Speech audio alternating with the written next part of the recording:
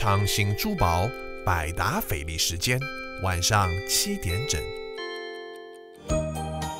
欢迎收听戏骨华人电台今天各项晚间节目。真诚面对听众，完整财经资讯尽在财经天地。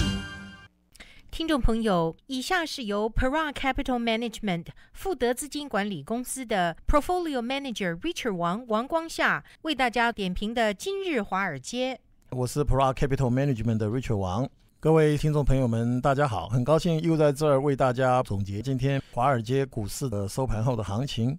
今天道琼斯是开高走高，我们来看一下今天三大指数今天收盘的最后的成绩。那么道琼斯是涨了一百一十三点，收在一万三千两百零四点；Nasdaq 是涨了二十点，收在三千零五十点；标准普尔 500，Standard 普500是上涨了九点，收在几乎一千四百点。这也是自四月十号以后，Standard 普500又重新站上了一千四百点。今天影响股市的因素主要有两个，一个就是今天公布的申请失业救济金的人数。下降了一千人，但是这是比预期的要少，所以市场觉得这是一个不好的消息。那按照劳工部过去四个星期的平均数字，申请失业救济金的人数其实还增加了六千两百五十个人，到三十八万一千七百五十个人，这是自一月以来最高的一个数字。根据路透社的预测的话呢，应该是只有三十七万五千人，所以今天这个数字领取失业救济金的人数增加到三十八万八千人。其实是一个比预期要糟糕的一个就业数字。那么，另外有一个旧物的销售增加了四点一个 percent，这个数字是两年以来最高的一个数字。那么，这个数字对市场呢是发挥了一个比较正面的一个作用。目前呢，我们认为未来两到三个星期的三大指数的走向呢，应该都是属于慢慢向上、继续上涨的一个上升趋势啊。虽然 Standard p o o r 处于 neutral 横向整理的趋势，但是因为 Nasdaq 跟道都是处于向上上涨的这个趋势，所以我们认为整个 Market 呢，应该在未来呢还是属于一个向上涨的趋势。那么，所以五月份的这个 Sell in May 呢，是不是会发生呢？目前看起来它的概率可能低于过去几年的平均概率，所以这是我们提醒投资人，如果 Timing Market 的话要特别小心啊，它 Sell in May 的现象不见得会发生。今天的盘后呢，Starbucks 公布了盈余，它预测是三十九分一股，出来是四十分一股，但是股票跌了两块，跌到五十八块。黄金价格呢上涨十六块，到一千六百五十八块。我们认为目前呢，市场的基本面支撑蛮强劲的。到目前为止，第一季的盈余公布了，在 Standard 五百的五百家公司当中呢，有一百五十家已经公布了，里面呢有百分之七十五的公司呢都超过了分析师的预期，所以这证明了经济是有在缓慢的复苏哈，这对整个股票的基本面提供了一个非常强力的支撑。另外呢，昨天联储会的声明。强调，如果一旦经济发生疲弱的话，联储会将会进场来帮助经济的复苏。从利率方面解读，也就是联储会在根本上呢还没有完全放弃 QE 三的计划。所以市场在今天呢开高走高，这是目前市场的气氛，就是让听众朋友们能够了解一下。好，今天我就介绍到这里。我是 Para Capital Management 的 Richard 王。各位听众朋友，如果有投资方面的问题，欢迎您打电话给我，我会非常乐意的跟您预约一个时间，给您做一个比较具体的咨询和建议。谢谢大家，晚安。Richard 王联络电话：四零八八三八零五七六，四零八八三八零五七六。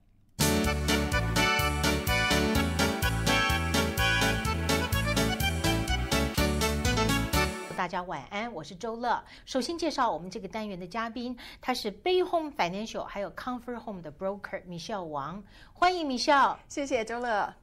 观众朋友们，你们好。我们今天要讲到好多好多的主题，主要是围绕着现在的房贷的利息，还有二零一二年以后的房贷的利息的一个 projection。如果有时间 touch 到是最好的。我们现在是四月初，对，先看一下二零一二年这个变化非常多端的这一年的第一季的 mortgage 的走势。好的。那这个房贷的利息呢？事实上，benchmark 就是十年的公债的回收率，没错。那在过去的三个月中间是怎么样一个？走法呢？好的，我现在有张图呢，这张图呢表现的是第一季度十年公债回收率的走向。哦嗯，OK，十年公债回收率呢非常重要，在 mortgage 利率中，因为十年公债回收率呢跟 mortgage 利率密切相关，十年公债回收率走高，mortgage 利率走高，反之呢也是这样的，好不好？那我们看一下这个图，在图在二月一号的时候，我们的 mortgage 利率达到最低点。是一点呃，十年公债回收率呢达到最低点是一点八个 percent，那我们的利率呢也是非常低，那时候十三十年呢那时候大概是三点七五 conforming，然后十五年 conforming 呢大概是三点一二五，嗯，对，OK，所以这个就是两个箭头指的第一个箭头的那个低点的地方。那个是个低点。下一个箭头指的是二月三号，二月三号呢是峰回路转，然后呢，mortgage 利率呢从低点开始往上高攀。为什么呢？因为在二月三号这一天呢，股市呢达到了一个新高。Nasdaq 创下了二零零零年十二月以来的最高点，同时道琼斯呢也创下了二零零八年五月份的最高点，然后 mortgage 利息呢攀升的非常厉害，嗯，就是说这个钱从公债的市场回到股市了，所以是这样。公债的价钱就低，那它的利息就高起来了。Exactly，说的没错。嗯哼，对，然后那第二个箭头是什么意思呢？第二个箭头呢就在三月十三号，然后银行呢通过了联邦政府的 stress test。什么叫做 stress test？Good question. Stress test 这样的，是在金融风暴以后呢，联邦政府呢给各大银行呢就是设置了一个 test，然后 test 各银行呢，比如说它的储备能力、应变能力，等于是一个 big audit，做一个审计。然后在三月十三号呢，各个大银行呢基本上都通过了这个审计。只有四家没通过。哦，这这个是这样，是这样。这样的通过审计之后呢，对贷款利率是什么影响呢？现在银行呢不需要把钱继续保持在公债市场了，它可以把钱呢用作发奖金、投资，投资到股票市场。这种情况呢，股票市场呢就会上升。怪不得像今年的第一个 quarter 里面，股市啊，道琼斯上涨了百分之八，然后那 SP 五百也是差不多百分之八，NAS 的上涨了百分之十八，好像一年的涨幅都发生在第一季度。Exactly 怪不得 mortgage 的市场变化这么多。是，然后的话，大概在三月十五号的时候呢，道琼斯突破了一万三千两百点，所以呢是非常非常高。然后这样的话，我们看来呢，在三月中的时候，mortgage 利率呢非常高，当时 conforming 三十年呢都已经很难做到三点八七五了。哦，对是这样子。然后呢，在接下来一段时间呢，三月十九号之后呢，mortgage 利率呢也逐渐往下走了一点。但是我们知道呢，利率呢都是像潮水一样波浪式的，对，像潮水一样，然后是起伏式的。在我们在高点的时候，当然不要锁了，但在低点呢还可以锁。然后我预计呢，哈，下一个呢高点马上就要来到了。哦，嗯那现在的话，有人要做 refinance 的人该怎么办吗？下一个现在做 refinance 呢，一定就是说先把要文件呢一定要准备好。哦，像比如说今天来讲，就是一个非常生动的例子。我来举个例子好不好？好好，像我有一客人呢，他的他要做个 conforming 三十年的 loan，然后他的利他的那个信用并不是特别好，不是说七百四十分，然后他的 loan to value 呢也超过百分之七十五，这种贷款呢其实是蛮难贷的。但是今天早晨利息还还是很低的时候呢，我就帮他锁了一个三点八七五。我们等这个利息呢，等了将近有大半个月，所以呢等到了。OK，是这样嗯所以这个人他的 paperwork 如果没有通通弄好的话，即使利息低了，他也 catch 不到。非常难，非常难。所以的话，因为这个客人准备好了之后呢，我就帮他拿了一个非常好的利息。最 dramatic、最有意思的是呢，经过刚刚锁的利息之后，今天的利息大涨，哦，大涨。哦，真是三点八七五像三点八七五呢，几乎就是不再来了，就嗯几乎要等一段时间没有了。这个就是我们今天就说下一步的高点。今天高点呢，其实今天就到了，因为今天是星期二，我们这个节目是预录的，嗯对对对，我们在礼拜二预录的的时候，今天的利息当天就变化多端，本来低，然后又高了起来。是，嗯，变化那我们既然讲到这个地方，你是要给我们介绍一下，我们到底听到这个高低，现在的利息到底是怎么样的呢？好的，我那我今天给大家呢也就讲一下今天的贷款利息，好不好？好嗯，好，conforming conforming 四十一万七，五年二点五，七年二点八七五，十五年三点二五，三十年三点八七五。Jumbo conforming 四十一万七到六十二万五千五，五年二点七五，七年三点二五，十五年三点二五，三十年四。像这个这个利息，今天早晨还可以做到三点八七五，但是呢，到了下午已经变成了四了。瞬息万变，是的，是的。然后 non-conforming 超就是过大额贷款，大额贷款超过六十二万五千五以上贷款，五年三点一二五，三年三点三七五，十五年三点七五，三十年四点七五。哦，原来是这样子的。OK，所以我们已经知道现在面临的市场可能呃房贷的利息。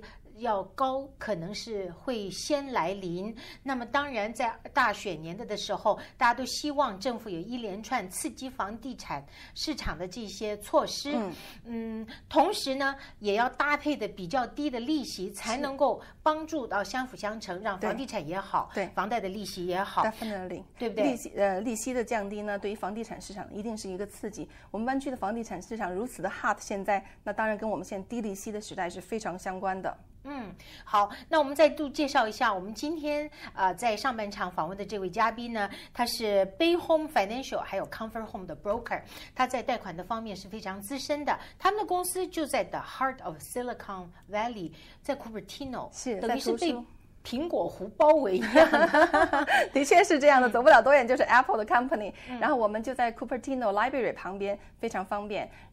好，非常好找。好，我们现在休息一下，进段工商资讯，继续让米笑来告诉我们在贷款和房地产方面应该要注意的事情。马上回来。您有私人医生，您有私人律师，但是您有私人专业房地产及贷款的经纪人吗？专精房地产贷款买卖，个性大度的米笑王经得起您的考验。有了米笑王，就有专业团队的经营和管理，就有超低的利率，就有财富的累积，就有了圆满的美国梦。四零八二零三二三六二，或上专业网站 triple w dot best invest 一二三 dot com。米秀王，完美的服务，最佳的选择。张宇应教授把儿女送入常春藤大学，又创办常春藤指导，将自己多年的入学辅导知识和经验，帮助了很多华人子女进入了梦寐以求的名校。常春藤指导的 SAT 奇遇突击法，神速突破 SAT，使学生的 SAT 成绩猛增三百分。常春藤指导负责大学申请的全部过程。江教授是美国国家大学入学辅导委员会资深会员，也是美国大学董事会的 SAT 作文阅卷人。要进常春藤，请找江教授，四零八八九一七六六八八九一七六六八。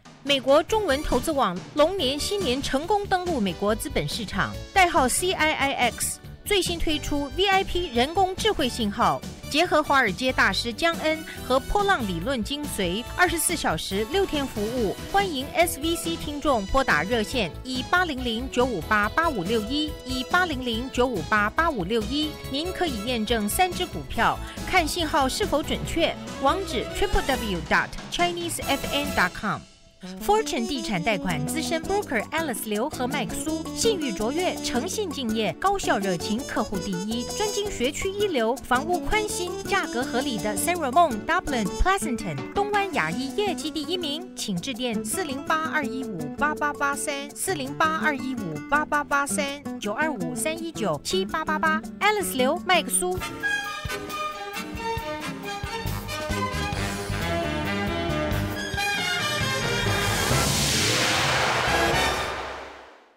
友，欢迎回来，米笑你好，嗨，你好，周乐。呃，我们知道在 Operation Twist 呢，已经在六月底就要结束。Operation Twist 呢是联储局它要卖短买长，所以在过去一阵子呢是长期的利息比较好，但是最近的情况有一点变化，反而短期的利息比较好。那所以我们就说 Never fight with the trend，什么好我们就 go for 短期的利息。所以我们来听听看这个短期的利息虽然好，它是怎么样做成的，它的机制是怎么样？好的，其现在短期利息呢是非常的好，比如说五年哈，conforming 的五年是二点五，这个利息呢只是在二零一一年短暂的出现了一下，然后七年呢可以做到二点八七五，也是非常短暂的，去年出现了一下，今年在你看我们在一月三十号左右。十年公债这么低，然后银行都没有 promote 短期利息，但现在开始了。为什么是这样的话？因为在三十年利息好的后，十五年利息好的时候，银行一定要花精力去做这件事情，因为银行的财力、物力和 system 是有限制的，它必定是在一定的时间呢去 promote 一个 product。比如说长期利息，长期利息来一次呢，好的时候呢，不是那么容易的。但短期利息相对来讲呢，还是比较好调整的，好抓哦，住的。谢谢你告诉我们嗯这个讯息。是的，所以的话，虽然在前段时间在十五年、三十年三点一二五和三点七五的时候，短期利息是什么样的呢？短期利息五年 conforming 呢，那个时候将近是三点七五，但是目前呢，长期利息升上去了，可是短期利息呢却到了二点五，非常非常好，很难得。OK，现在银行都是在 promote 这些短期的利息，那我们也要看到他的一个人他要怎么样才能够 qualify 短期的利息。比如说五年，五年他真正来 qualify 一个人是 based on 什么样的条件？对五年的利息呢，其实就是说，我觉得是说我们现在借钱的人呢，看看要不要选择五年还是长期的。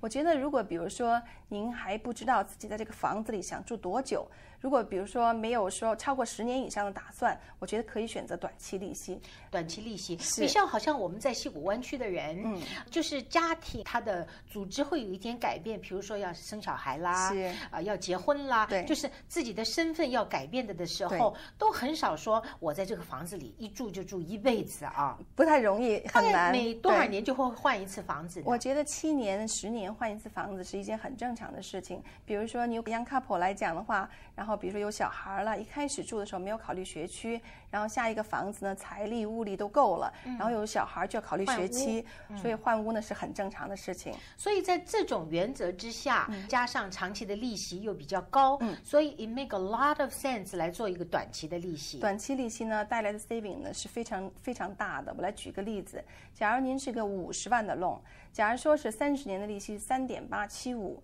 然后短期利息因为五十万是一个 jumbo conforming 嘛，对五年的话就是二点八七五，那相差呢有一个个百分点，哦对，在五十万中一个百分点呢就是五千块钱一年，哇，对，那您的 saving 呢就是五千块钱，几乎五百块钱一个月的 difference。是这样。然后的话，这五千块钱呢，如果您想，比如说，哎呀，我想把它投资在这个房地产中，也是个好主意，因为你把五千块钱投到这个贷款里头之后呢，就等于把您的本金缩短了。这样的话，在滚利的情况下呢，那您的利息就越来越小，然后这个 loan 呢也可以提前付清。所以五千块钱一年，那五年呢还是不少的呢，哦，就是啊，就两万五千块钱可。不怎么地，是两万五千块钱不好挣的。对对对，可是是我是不是听说五年的这种呃 adjustable，就是前五年固定的这种，真正要 qualify 不是按照五，不是按照这个呃给你的这个 rate，是的，因啊为五年固定的利息呢，就是 risk 相对来讲大一点，所以的话，它会在就是给您的利息之后呢，再加两个百分点，比如说二点五，真正 qualification 呢用的是四点五，这样的银行呢就比较安全，就在五年之后呢，您加一个 margin 呢也不会 default。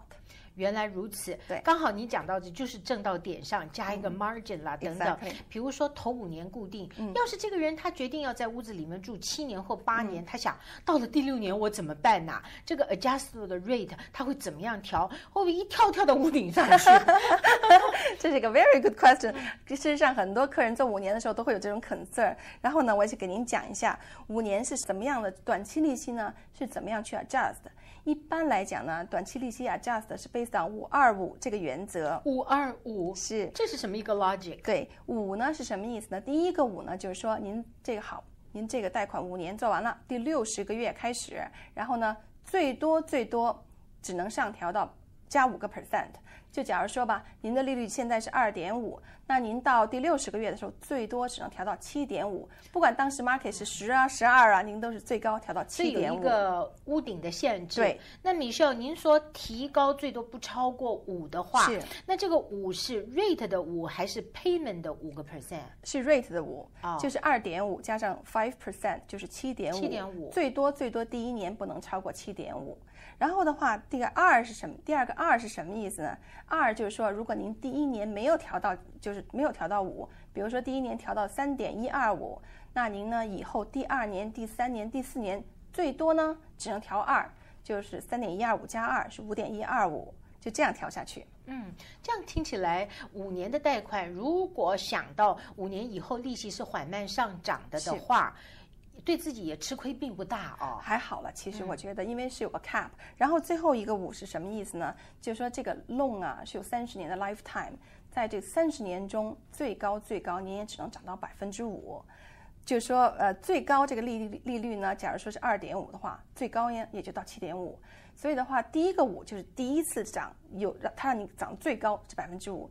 二呢就是以后每年最多二，然后最后呢还有个封顶就是五。所以的话，最高如果是二点五的利息呢，最多不会超过七点五。OK，那我们现在讲的这些利息，就像刚才您在第一段报告的这些利息，都是 based on no point no fee 的吗？是的，based on no point no fee 的，因为这个 loan 呢是每个人的条件不一样，比如说 loan to value 啊不一样，啊、credit score 不一样，同时呢就说 debt to income ratio 也不一样，所以的话呢是有不同的。这个一个 snapshot 就是给您做个 reference，您看了以后呢可以打电话打电话问我您的具体情况是什么样的。好，那 Bay Home Financial 还有 Comfort Home 的 broker 在休息一下，回来以后就会告诉大家，在我们 Silicon Valley 现在买屋等于抢屋。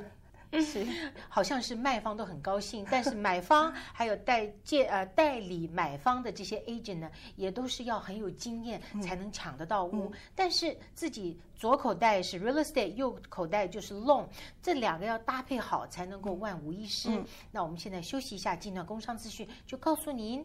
Purchase 的 loan 到底它的机制是怎么样才会对自己有利？马上回来。昌兴珠宝名钻总会，昌兴每颗钻石都经严格挑选，香工细致，恒久珍贵，散发璀璨光芒，凝聚醉人魅力。昌兴代理世界顶级珠宝，Hearts on Fire、Roberta Coin、Mickey Moto、肖邦、伯爵、宝格丽，庆祝每个难忘的日子，要挑选最称心、完美的礼物。昌兴珠宝是您的首选。圣荷西 Westfield Valley Fair CH Premier，吉米 Peters 环球广场，查询请电四零八九八三二六八八。Frank 刘，加州第一，全美第一，二十六年房地产专家，经验丰富，业务范围包括住宅、商业地产、短售屋、法拍屋、EB Five，国内及境外投资人士需要咨询，请致电 Frank 刘四零八三一三二六八八，预约一对一面谈或电邮至 frank 点刘八八 at yahoo.com。Frank 刘祝愿大家假期愉快，阖家平安。位于南关的安置中医院，为了帮助湾区居民提高自身免疫功能，推广健身的运动，达到第三医学理念，就是自己的身体自己管理，将继续免费开办由上海郭林新气功协会副会长陈菊芳医师传授的郭林新气功课程。此功法对于放射或者是化学治疗术后癌症病人的康复，以及治疗花粉症、呼吸系统等多种慢性病均有特效。预知免费课程班详情，请电安置中医院四零八二一三二九二八四零八二一三二九二八。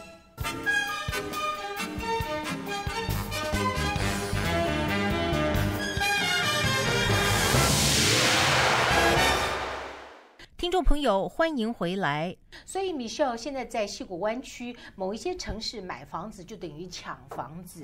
你有一个形容词来形容现在的房地产的市场？我觉得目前的房地产市场呢，我用三个字形容就是 hot, hot and hot。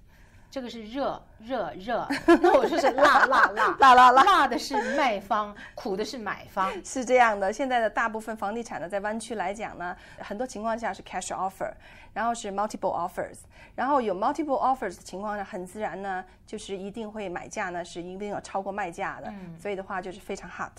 OK，这个不管是买方，当然要 pre qualify，对不是对？那您是一个卖方的话，这么多 offer 放在这边，就像我面前的纸，你要挑哪个条件好，肯定是要挑 cash buyer 啦，或者是已经被 pre qualify loan 的人。对所以这个步骤是不可以减少的。一定一定一定是一个 must 要做的事情，而且呢，作为一个做 pre-qualification 的过程呢，其实是对自己的经济状况啊，然后借贷能力呢，也是一个评估。这样的话，如果您比如说找找一个 long agent 的 experience，long agent 的话，跟他坐在一起。考虑一下您自己的借贷能力非常非常关键。像比如说吧，我们有一些就是我们中国人的哈，呃 Asian 来讲的话，就是说比较省吃俭用了。假如说呃您可能自己 再不了解，可能再不了解就是这个 mortgage 市场怎么运作的情况下呢，比如说你赚了一万块钱，说哦那我自己花两千块钱，我还有八千块钱可以使用，我能贷好多钱呢买个百万豪宅。但事实上呢不是这样 work 的。这是误解哈。是误解，是误解，确实是因为呢，确实有个 debt to income ratio 的问题。大概 DTI 对，那您就说一万块钱呢，大概是百分之四十五呢，可以用作房地产投资，就是四千五百块钱。然后在这四千五百块钱中呢，您还要减去房地产地税，然后减去您的那个。减去保险，然后再减去，比如说其他的贷款，就是卡 loan 啊、学生贷款呐、所以这个 DTI 不只是 real estate 的贷款，还包括自己全部的债务。是的，哎是的啊。所以的话呢，就是说非常关键。这样一算下来呢，然后您真正看哦，我比如说哦，还还三千块钱，我能贷多少钱的款？哦如果有这些。算法。对，倒算有了这些武装，您呢，您才知道自己就是真正的 qualification 是多少，是买什么样的房子，有的放矢，寻找自己的房子。这样的话呢，我觉得才有意义。要不然的话，您砍了一个真的是很好的房子，真正去购买的时候呢，然后就不 qualify，其实真的是浪费您的时间，不切实不切实际。不太切实际。对。那关于首款的方面呢？对，down payment 呢，其实在 pre qualification 的时候呢，也是蛮重要的。比如说，我会问您要，比如说您的 bank statement 让我看一下，为什么这么说呢？见真章了。对，看见钱以后，因为就是说您在出 offer 的时候呢，也就是在七天之内呢，您也是要给 listing agent 对方呢，就是您的 down payment 的情况，要给他看你到底有没有这个证明对，有没有这个钱？然后如果没有这个钱的话，那您这 offer 也是拿不到的。然后的话，现在作为卖家来讲呢，也是喜欢看见 down payment 稍微多一点的。为什么这样呢？比如说你这房价，现在我们刚才说的吧，都是抢上去的。那您前一个房子可能卖了个五十万，那您现在房子卖了个五十五万，但银行真正做评估的时候，可能评不到五十五万。说实在话，因为要根据周围的卖价来评估嘛。这样的话呢，如果您有多的 down payment 的话，那我们就不怕这个 value 不够了，因为就可以等于是多放一点 down payment 的话就没问题了。哦，明白。嗯，那关于这个刚才提到了 bank statement，、我们要挑一个怎么样的，从卖方还有从银行的角度，他要看到什么样的 down payment，他才觉得放心呢？就是从卖方来讲呢，相对来讲看到百分之二十五以上的会放心一点。所以的话，假如说您的，比如说您有钱呢，或者是父母呀愿意赞助您点钱呢，那就是不妨呢把钱早点拿过来，这样多早？早一点拿过来呢，大概两个月吧。这样的话呢，我们就嗯就很 solid。这样的话买房呢就非常有帮助。所以这个 bank statement，这个 bank account 里面也要干干净净的，非不要看到很多呃钱进进出出，进进出出。对，不要大笔的出，然后呢也不要大笔的进。让您就比如超过两三千块钱进的话，银行就说，哎，这是这个都算大笔了。对，三千块钱以上就是大笔钱了。然后呢，如果您要是有买房子准备呢，比如说先把钱呢，就是放到银行账户里，两个月之后呢就非常好了，就是没有什么特别多的问题了。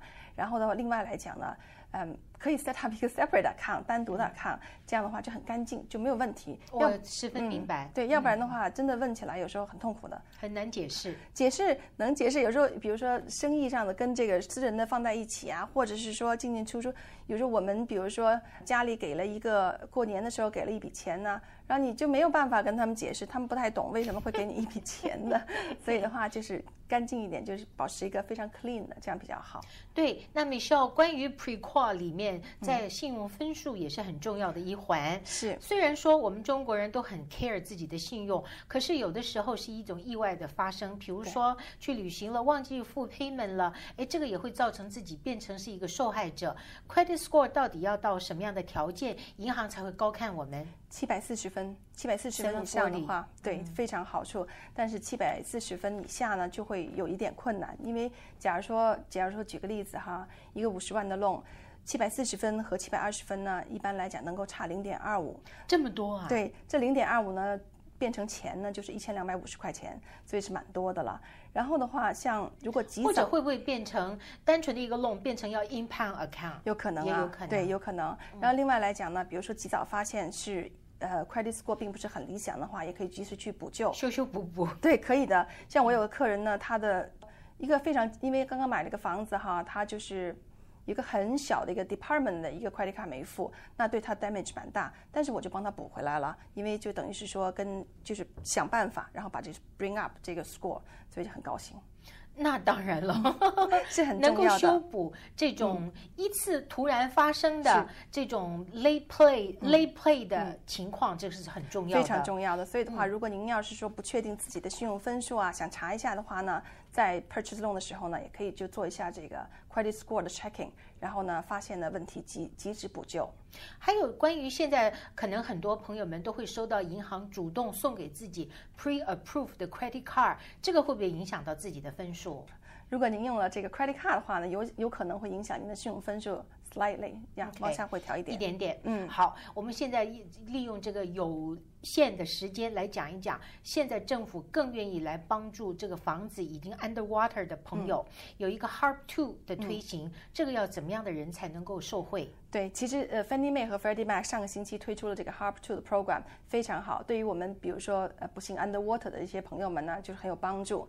比如说您的房子，就什么叫 underwater，我想大家都是知道了哈，但再就简单说一下。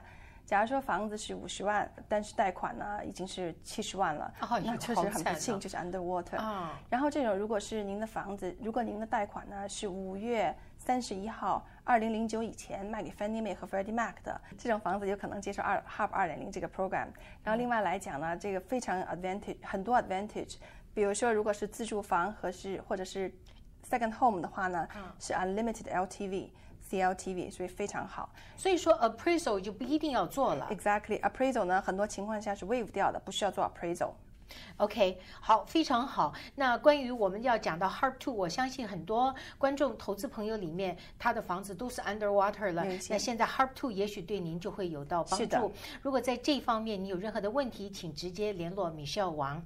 Michelle 他今天是我们的嘉宾，他是 Bay Home Financial 还有 Comfort Home 的 broker Michelle 王，非，常感。谢谢，谢谢周乐，非常感谢，希望接到您的电话。是的，听众朋友，上半场节目结束，感谢您的收听。近一段工商资讯，马上回来。您有私人医生，您有私人律师，但是您有私人专业房地产及贷款的经纪人吗？专精房地产贷款买卖，个性大度的米歇尔王经得起您的考验。有了米歇尔王，就有专业团队的经营和管理，就有超低的利率，就有财富的累积，就有了圆满的美国梦。四零八二零三二三六二，或上专业网站 triple w dot best invest 一二三 dot com。米歇尔王，完美的服务，最佳的选择。买卖房产是大多数人一生最大的投资决定。找一个不仅了解房产市场，也熟知金融投资市场的顾问，来帮助您把握市场动态，做一个最佳房产投资决策，才是个明智的选择。Sophie 线是极少数拥有注册金融分析师资质的房产经纪，精通房地产贷款和金融行业各种类别及情况，集信心、经验、诚信、耐心于一身。请与 Sophie 线联络，电话四零八七九九二五五八，或查阅 Sophie 的 Silicon Valley Housing Post.com。只因为 You deserve the best。 妈最近常腰酸背痛哎。妈，不然我们就出去走一走，动一动吧。好啊，去哪儿啊？世界日报要在 Cupertino Monterey Park 举办母亲节园游会，有免费义诊和讲座，上百个摊位可以逛哦。现场有创意料理大赛，填好报上的抽奖券还可以抽机票，还有限量礼物袋，我们要早点去排队。五月十二、十三日上午十点到下午五点，世界日报母亲节园游会，爱我妈妈影像健康活动专线六五零六九二九九三六。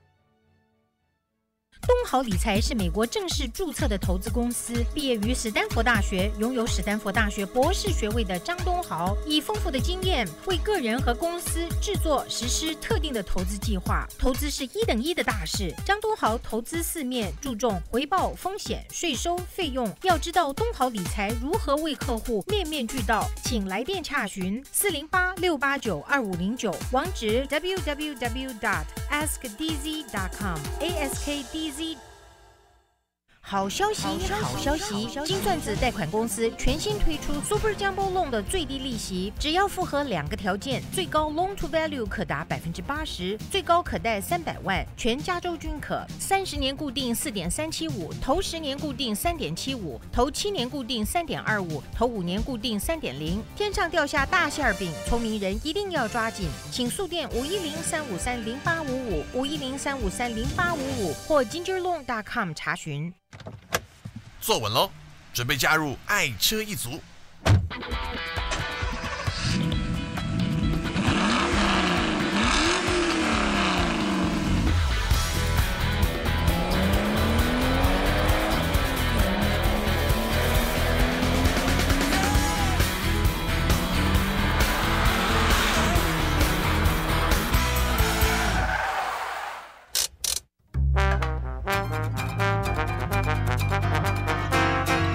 收听戏谷华人电台爱车一族的节目，我是节目主持人瑶瑶。今天呢非常高兴，因为呢我们爱车达人八八八万里行汽车公司的总裁 Maria 呢，从上一次节目到现在都留在原地，都没有动过啊。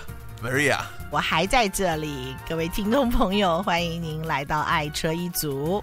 啊，真是辛苦您了！为了要跟我们大家来介绍的保时捷九一一的故事，是不是？是啊，五十年的历史啊，用这个呃三十分钟要把它讲完是绝对没有办法的，就算这个五十分钟也讲不完。所以呢，我在留在原地继续为大家介绍。是我们很快跟大家回顾一下这个很不幸的一个消息呢，就是在四月五号的时候，这位伟大的设计师啊。Ferdinand Alexandro Porsche 呢，就盟主宠招了，是吧？是的，他在呃，就是得年七十六岁的时候因病辞世，是四月五号离开我们的。嗯，这个回想当年呢，他在二十五岁的时候就设计出了第一台的保时捷九一一啊，一直到他离开人世的这一年，他只是一生五十年都在做设计的工作啊。啊，他设计的东西呢，不是只有保时捷而已哦，他有设计手表啊，这个啊眼镜啊，这个衣物啊，还有呢，甚至于到这个帆船哈，当然汽车是最有名的了，都在他的这个 Porsche Design 公司的名下啊，所以他把他自己的才能发挥到极致，而没有浪费在别的地方。尤其是他设计出来这个气冷式这个 Air Cool Engine 啊，从一九六三年。一直到一九九七年，哇，不得了啊！这是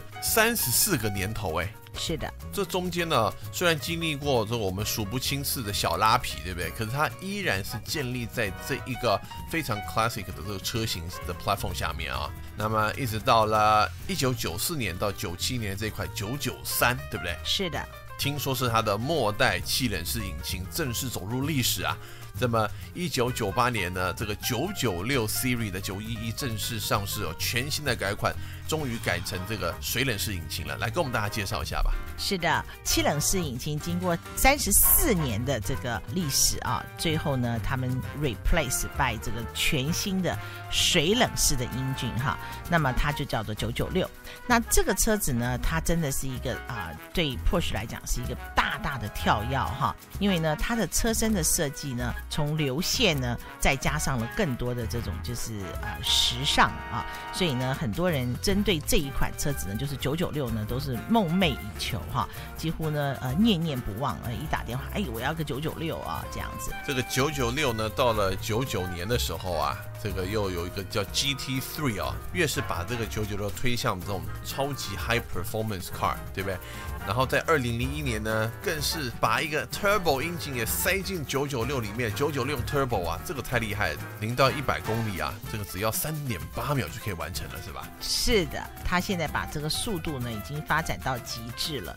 有了 Turbo 的 Engine 之后呢，它变成一个就是啊世纪之星啊。嗯，这个时间呢，到了二零零五年呢。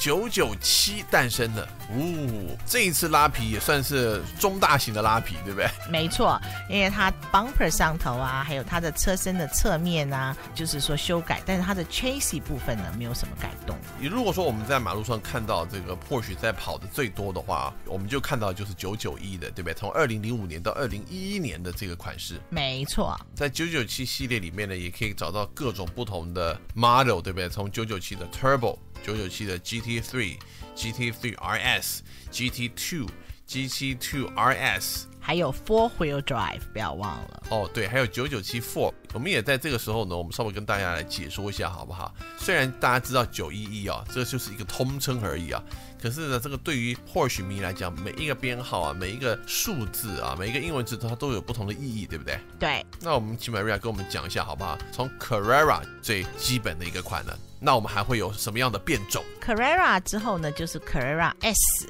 啊，所以大家在路上看到后面加个 S 的时候，它这样写的这个歪歪的，然后一撇拉过来哈，你就知道那个 S 要多差不多一两万块钱美金哦，多了个 S 就要多一两万块美金的，对了呀，因为 S model 的话表示它的马力多了五十个 horsepower 哈，而且呢，它的很多的配备呢也会跟着就高级起来，整个动力套件套装都不一样。对对对，那然后如果再加个四的话，那就更不得了了，表示它是 all wheel drive。的。哦四轮驱动，那也就是说呢，它这个在雪地里头开起来呢，也是非常的安稳的，而且呢，它是这个有一个叫 Porsche Traction Management 这个 system 在里面呢，它可以是一个 clutch based system，它会让这个 torque 呢和这个 wheel 都绝对不会有这种 slip，就是不会打滑啊。那你知道开跑车啊，如果要开得好，然后开得快的时候呢，最怕就是停不下来，或停下来呢，呃，歪七扭八的，那就太丢脸了。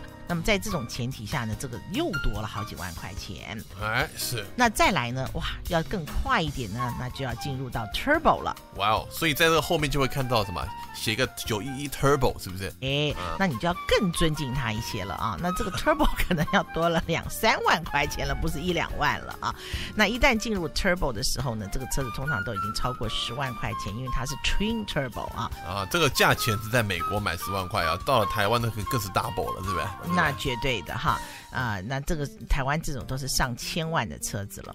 那么在这个啊 Turbo 系列里头呢，就是说啊，它又分成啊 Cabriolet。Cabriolet 的意思就是说敞篷。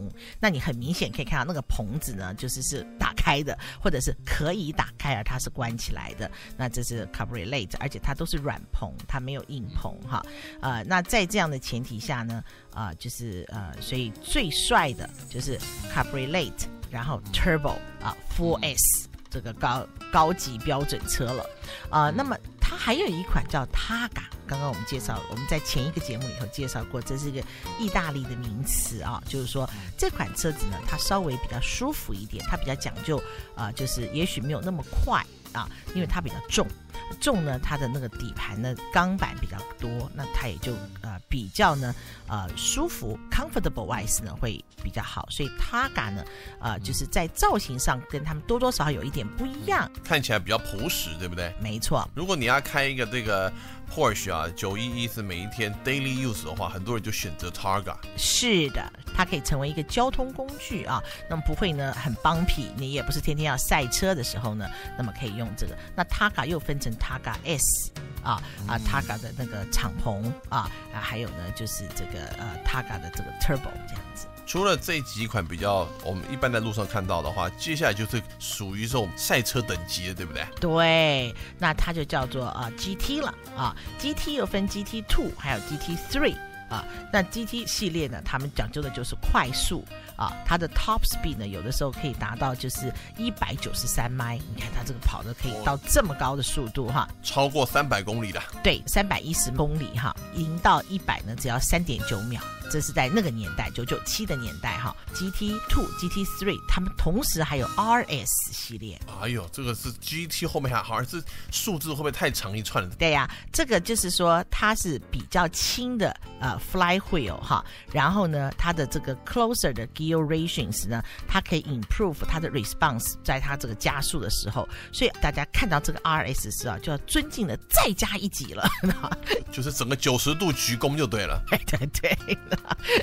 所以呢，呃，我们现在在路上看到一些这些车子的时候，你可以马上认出来说啊，我看过，不会太 confuse 啊。然后对于他们的尊敬度呢，你也可以稍稍的有一些了解。呃，总而言之呢，就是 Porsche 911的这款车子呢，它是叫做眼花缭乱。啊，然后呢，再来就是望尘莫及呢，反正你是追不上的，除非呢下定决心去拥有一辆哈，那呃就有不同的境界了。想要享受快感，开跑车人里面还有分很多不同的 personality，对不对？就是照着自己的性格呢去找到一部最适合你的九一一啊。不过这个很厉害的是哦，在二零一零年的这个九一一 S 后面写了一个 Turbo，后面再加一个 S 呢，已经可以制造出零到六十是二点七秒的记录啊！这会不会太吓人了？哎，没办法啊，就是有人要吓别人啊，所以呢。如果人家一溜烟的跑掉的时候，啊，你就记得我至少听过爱车一族告诉我，他们就是这样的。是是是，不过这个东西哦，好像是有一个 trick 哦，也就是它这个只有 Porsche 上面发展出了一种叫做 PDK 的系统啊，这是什么系统？这个系统呢可是特别了，那等我们回来的时候呢，再来念给大家听，它的德文叫什么，也给大家详细的介绍它真正的用意是什么。好，我们就先休息一下，卖关子，锁定我们下一段的爱车一族。汽车摩擦碰撞怎么办？八八八的钣金修护，做工完美，保险理赔行动迅速。汽车是消耗品，需要维修，八八八的定期保养计划最周全。买新车时要卖旧车，八八八的新旧车买卖帮您一次搞定，价格公道，服务忠诚，是八八八创业的宗旨。钣金维修、定期保养、新旧车买卖，就找八八八万里行汽车公司的两个 location。请洽四零八二八八九八八八。李俊哲牙医博士是湾区唯一拥有植牙、假牙两个专科学位的植牙权威。李医师担任 NYU 植牙专科副教授，教导世界最新植牙技术。李医师也是假牙美容专家，诊所特设一般牙科门诊，维护您全家牙齿的健康。李医师定期举办免费植牙、假牙美容讲座，参加讲座者赠送五百元优惠券。欢迎电话报名。李俊哲植牙、假牙专科位于 Sunnyvale Costco 附近，诊所电话四零。八八三零零一二三。本节目由 Para Capital Management 赞助播出，富德资金管理公司电话六五零九六八二六八二，网址 www. parahcapital.com，以德致富，慈善为怀。Rebecca Lee 卖屋就是棒，Saratoga、Cupertino、West San Jose 房屋全部超价成交，Rebecca Lee 买屋卖屋超棒啊！四零八七二零六八零零，四零八七二零六八零零。听说最近房屋贷款利息又降了，我也想重新贷款呢。哎，Robert，重新贷款会不会很麻烦啊？不会的，我刚刚才做完 refinance，每个月可以省很多呢。虽然现在银行比以前要的文件多了些，但我的贷款经纪 Cindy 刘或是 Andrew B 在一开始就想到了，不但替我拿到很好的利率，整个过程也非常顺利，连最后的签名都是在我家里做的。他们公司还帮我规划如何投资地产，而且啊，还有专职的 CPA 替我解答税。务上的问题，这完全是一条龙的服务啊！我用他们的服务已经快十年了，是绝对可以安心信赖的。哦，那太好了，这样一条龙的服务就是我想要的。怎么样联络他们呢？你可以联络 Cindy 刘或是 Andrew B，他们的电话也非常好记哦，四零八三零六六六八八，四零八三零六六六八八。他们公司还有网站 triple w longontime dot com。你也可以 email 到 info at longontime dot com。OK，我马上就联络他们。坐稳喽，准备加入爱车一族。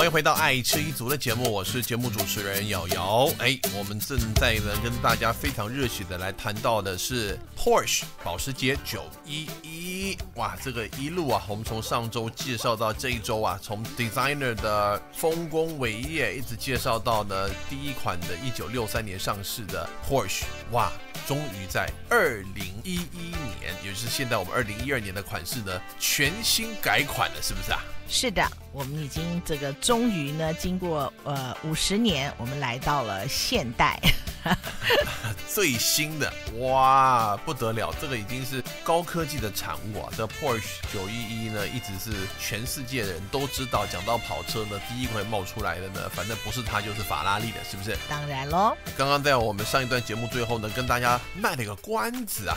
为什么要卖这关子呢？因为呢，这样的一个最新的 transmission 离合器的系统呢，广泛的被运用在最新的九九一，这叫做 PDK 是吧？是的。PDK 呢，它呃是 Porsche 啊 Double Coupling 的一个简称。那么啊听起来很奇怪，但是呢啊其实这个设计啊已经行之有年。但是呢真正能够应用到车子上，而且是广泛的应用呢，那么是今年在这个新的二零一二的九九一的这个车款上，呃仍然叫九一一，但是它叫九九一的 model 呢，它有一个 Seven Speed 的 PDK。K 哈，那 PDK 呢是什么意思呢？它的终极目标呢，就是让车子跑得快而且 smooth。但是怎么设计呢？哎，它非常的有趣，它叫做 double clutch，所以呢，它是 double coupling 哈，意思就是说双离合器的系统是吧？是的，是的。其实我们稍微研究车子一点的人，这个市面上啊，所谓的超级跑车，对不对？很多都是配备了这种双离合器的系统，包括全世界跑的最快的车 Bugatti。没错，那么啊，这个一百多万的跑车呢，装上这个；那十万多的跑车呢，也装上这个的话呢，那当然就非同小可了。所以这个 double clutch 的目的呢，既然是跑得快啊，那么呃，就是说除了引擎要好之外呢，它这个啊转动的速度、带动轮子的速度呢，也必须能的跟能够跟得上。所以呢，它就取用它这个。啊，就是这样的一个特色，它把它做成两个半圆形的弧状的半个齿轮箱，一个 clutch，然后另外半个齿轮箱再有另外一个 clutch。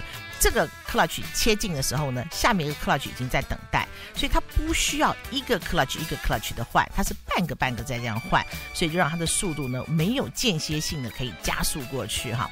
那我们在它的这个呃，就是终极目标上呢，可以完全的实现啊，就是加速者呢想要将车子开得极快的时候啊。啊，那么他就可以完全的实现他这个梦想，而且他是七速的这个 PDK 啊，实际上从一到六呢，它是 Sports Ratio 哈，可是它到第七速极速的时候呢，它第七个 Gear 呢，它是一个很长的 Long Ratio，那让它呢可以 reduce 它的 fuel consumption，就是说引擎的转速可以不要那么高，可是呢，它仍然可以让它的速度冲上去，所以呢，它有这个非常独特的设计，让这个啊，就是喜爱开快。车的人哈，在他要享受的时候呢，他能够得到这样的目的。哦，这就让我想到一个画面啊，就好像我们在唱歌，每次唱歌的时候我们会换气，结果呢，你看那些很厉害的 saxophone player 啊，他们在吹那个 saxophone 时候啊。他们可以啊，在吐气的同时还可以吸气，让你把换气的时间呢减少到你根本就听不出来他在换气，就是同样的意思，是不是？是的，是的。但是这个技术啊，和这个人是可以来做哈，可是你要让机器来做的话呢，那真的是一个非常精密的设计了啊，所以呢，能够广泛的来使用呢是非常不容易的。好，我们现在既然呢已经晋升到最新一代的这个九一一啊，二零一二年的，是不是？赶快来跟大家介绍一下哈，这个在二零一二年的 Porsche 911呢，是不是也依然有非常繁复的这个 model 的选择？是的，在我们北美洲呢有十八款。好，那呃，这个十八款呢，呃，而且款款精彩啊，款款特殊啊，那么每一个都是经典之作。这个欧洲呢有二十款，就是所谓的 RS 啊。这个他们在那边都有的，我们在美洲呢是看不到，因为它的马力已经太大了。谁叫这美国的标准永远是全世界最严格的，是吧？没错啊，那么这个 emission 上头它没有办法达到美国的标准，所以没有办法进入美国来卖啊。那但是在欧洲的话呢，他们仍然是非常受欢迎的。呃，很快的给大家介绍一下，就它也是九一 Carrera，然后呢，这个车子是三百五十个 horsepower 哈，那价位大概是八万二左右，它零到六十。时呢是四点六秒，这其实非常快了，这是它的基本款而已啊。啊，这是最慢的 啊！它的极速呢是一百七十九 mile per hour 哈。不过这我已经满足了，而且只要八万二哎。譬如说像 Cayman 哦，一部买买下来也要差不多六七万啊。差不多最后也要八万多，因为它总有一些呃 option 让你去加嘛。你知道买 Porsche 车子，你甚至于在你那个座椅上，如果有一个那个绣着 Porsche 的那个标志的那个图案哈，那个都要加好几百块钱的耶。哎呦！Before 我介绍到下一辆车呢，我要跟大家介绍一下，就在这款车上呢，我们是不会讨论它的耗油量的，也就是它的 fuel consumption 呢，它都叫做 to be determined 啊，就是说现在不告诉你的，因为一个 gallon 跑多少 mile 呢，那已经不重要了，所以我们都不会给大家介绍这个。刚刚介绍过这个九一 Carrera 哈，那 Carrera S 呢，它就到了四百个 horsepower 了啊，然后呢。它的这个 top 这个 red track speed 呢是一百八十八 mile per hour 啊，要记得这个叫 track speed，不是在马路上走的，是在这个跑道上跑哈。对，那它零到六十呢是四点三秒，比刚刚进步了三秒啊。这样。那但是呢，啊，价钱要到九万六千四，所以呢，差不多就多了一万四千块钱。不过我要现在讲一下新一代的，其实外形，我说实在，真的，它每次的改款呢，虽然我们知道是全新改款，对我们一般老百姓来说，它还是只是仅限于拉皮，因为它保有了这个非常非常浓厚原来九一应该要呈现出来的样子。啊，那这一次的话，就是我觉得当游线感是更多了。啊，嗯，但是其实这一款呢，是你如果去到内装，你看就就几乎是完全改掉了。还有呢，它的引擎也是完全改掉，对不对？在这个内装部分呢，啊，它跟上一代的这个或许呢，实在是有了一个天壤之别啊。呃，因为呢，他们现在已经讲究就是要很精致之外呢，还要很空间很宽敞，而且呢，设计要很优雅。所以他把中间的那个啊，就是 console 的部分呢，做成比较流线的设计，然后加上了很多的这个按钮。哎呦，这点真的是差很多。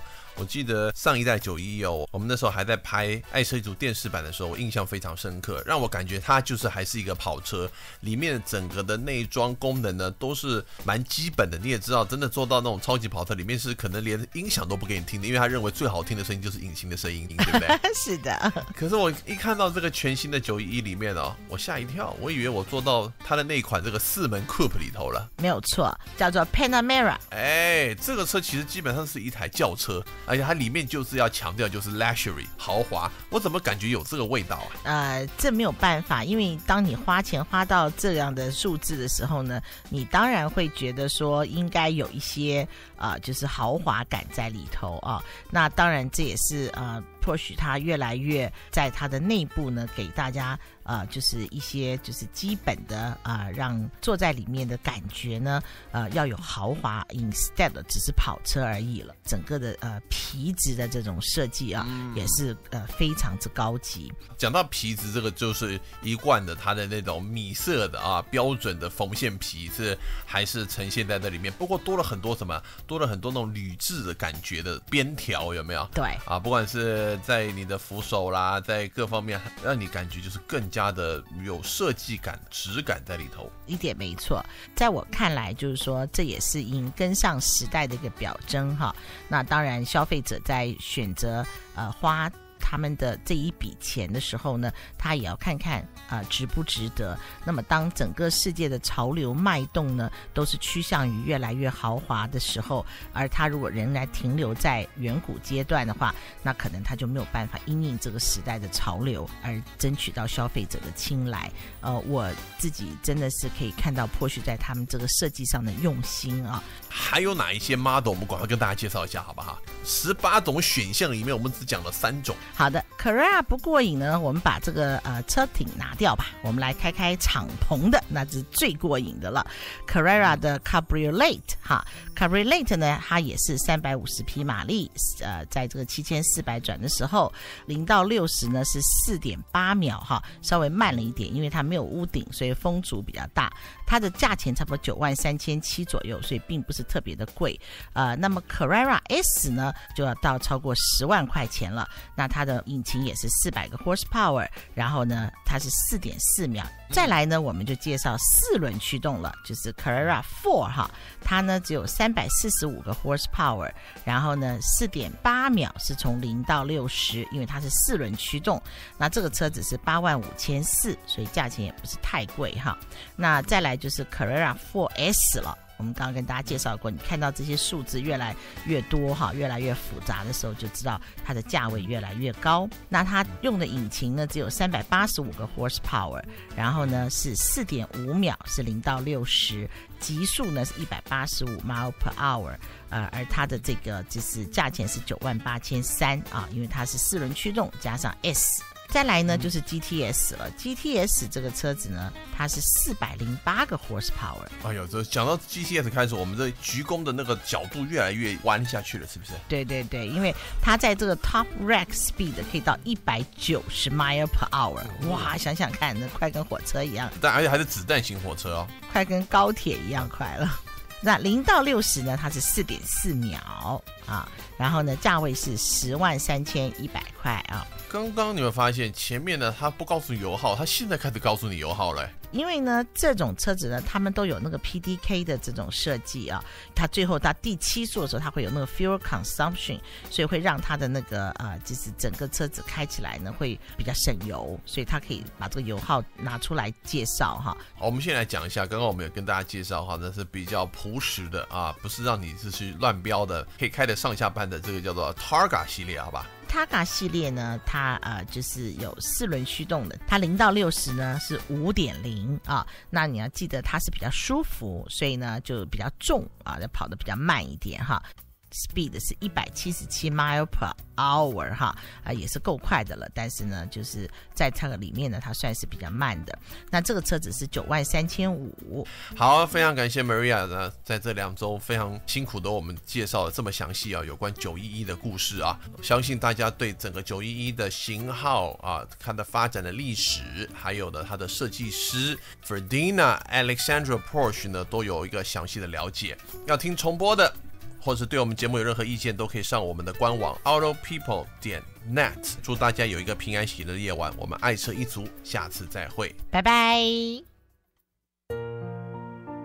今晚戏谷华人传播公司为您制作的节目到此结束，谢谢您的收听，晚安。